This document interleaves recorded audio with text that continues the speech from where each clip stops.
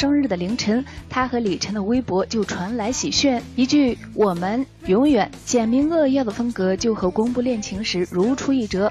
两人在一起三年，李晨终于不负众望，求婚成功了。视频中，李晨似乎为范冰冰准备了一个粉嘟嘟公主风的生日会，在一整面墙的鲜花前，李晨单膝跪地送上戒指。平日里霸气十足的范爷，这一刻也感动到泪流满面。随后，何炅、李玉等圈内好友也都纷纷转发微博送上祝福。前两天和陈冰一起撸串的何老师还爆料，节目上李晨拔河结束后，范冰冰偷偷为男友。揉手狠狠补了一把狗粮。其实从二零一五年五月二十九日，陈冰在微博公开恋情，两人就一路恩爱到停不下来，一起上跑男。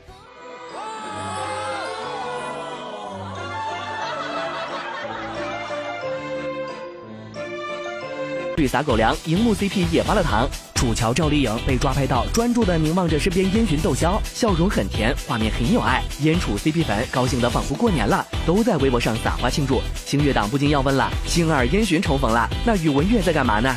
小八哥跑到林更新的微博一看，原来宇文公子居然在忙着跟裸体雕像合影，还调戏人家，让人家别害羞。底下评论都在娇嗔他是臭流氓。还有犀利的瓜友晒出了大新哥和雕像的同款无脸照，毫不留情的拆穿你心，直言雕像害羞的样子和你简直一模一样。嗯，小心呐，